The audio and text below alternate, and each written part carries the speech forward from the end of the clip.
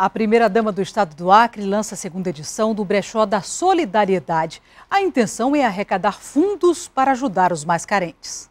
Este é o segundo ano do Brechó Solidário, uma campanha beneficente desenvolvida pela primeira-dama do Estado com o objetivo de arrecadar fundos. De 13 de novembro a 7 de dezembro serão aceitas as doações de roupas, calçados e outros objetos de uso pessoal ou não, que serão vendidos no brechó a preços que variam de 5 a 100 reais.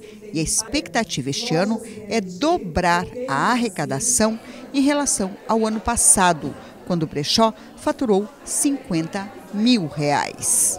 Exatamente o que, que vocês adquirem com o dinheiro uh, conseguido no brechó? Olha, é, aí cada instituição ligada à CADES, por exemplo, as casas de passagem, que são abrigos, elas vão dizer para a CADES o que, é que elas estão precisando.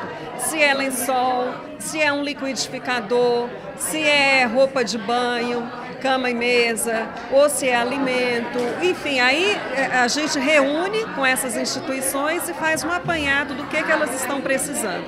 Aí a CADES pega, compra esse material e entrega a eles. Ou às vezes é o pagamento de um funcionário que está atrasado, ou uma, uma compra que tá, o pagamento está atrasado, então esse dinheiro vai para fazer esse pagamento também. As doações podem ser feitas nas lojas identificadas, na OCA e nas secretarias de Estado. A campanha conta ainda com o apoio da FIEAC, Lions e Loja Maçônica, entre outros.